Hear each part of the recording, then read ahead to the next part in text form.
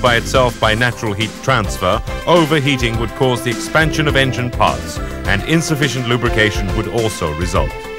It is necessary to have a cooling system to maintain the engine at its optimum temperature.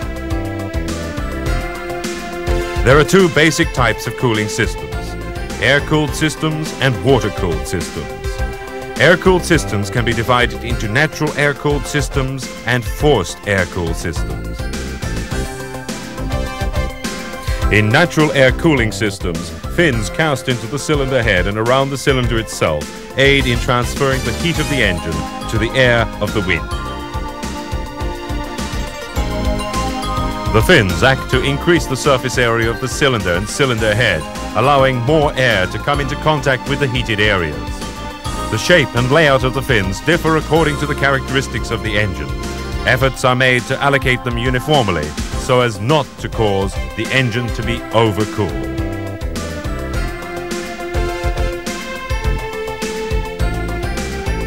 In the forced air cooling system, a fan is driven by the crankshaft to blow cooling air onto the cylinder and cylinder head. Ducts and covers are attached to direct the flow of forced air to the areas of the engine that need cooling.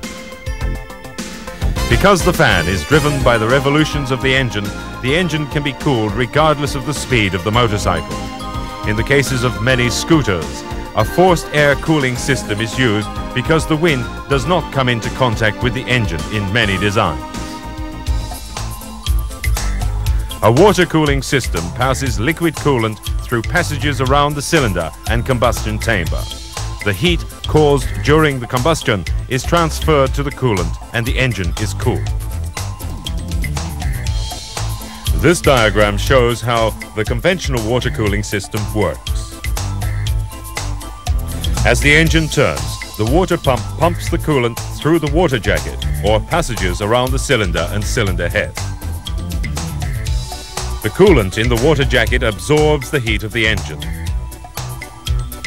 The heated coolant then passes through the radiator where its heat is transferred to the air that passes through the radiator. The coolant returns to the pump and is pumped through the system again.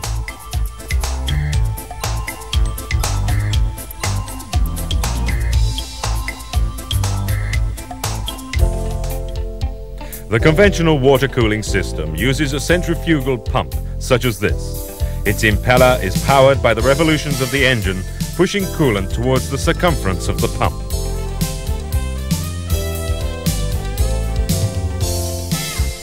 The water jacket is designed so as to envelope the combustion chamber and the cylinder. The thermostat senses the temperature of the coolant in the water jacket to make sure that the engine runs at the optimum temperature. The expansion and contraction of the wax inside the thermostat opens and closes a valve which controls the flow of coolant.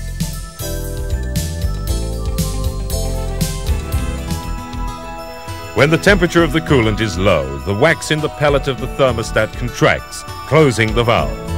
When the temperature of the coolant rises, the wax expands accordingly, opening the valve, increasing the amount of coolant sent to the radiator to be cooled. If the temperature of the coolant is lowered due to the temperature of the exterior, the wax will contract, closing the valve. The thermostat is responsible for opening and closing the valve that controls the flow of engine coolant according to its temperature, in order to maintain the engine at the optimum temperature at all times.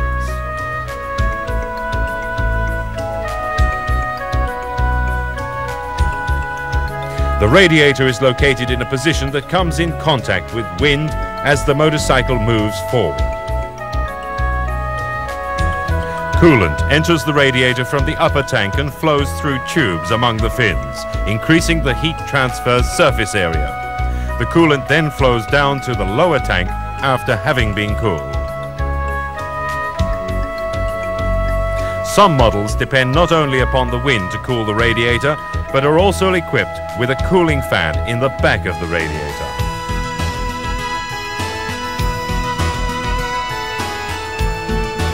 Conventional water cooling systems are also equipped with a reservoir tank which is sealed and pressurized. This is to aid in adjusting the pressure of the coolant within the system.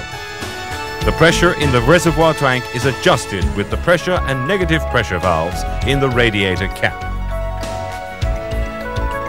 When the coolant temperature rises, the coolant itself expands, and when a pressure of 0.9 kilograms per cubic centimeter above atmospheric pressure is created, the spring is pressed up and the pressure valve is opened. The expanded coolant flows into the reservoir tank. When the temperature of the coolant lowers, the coolant contracts. The pressure within the radiator cap becomes less than atmospheric pressure, the negative pressure valve opens and the coolant in the reservoir tank flows back into the radiator. In this way, the sealed, pressurized water cooling system with reservoir tank controls the flow of coolant efficiently and has the advantage of not requiring coolant refills for extended periods of time, making for safe, dependable use.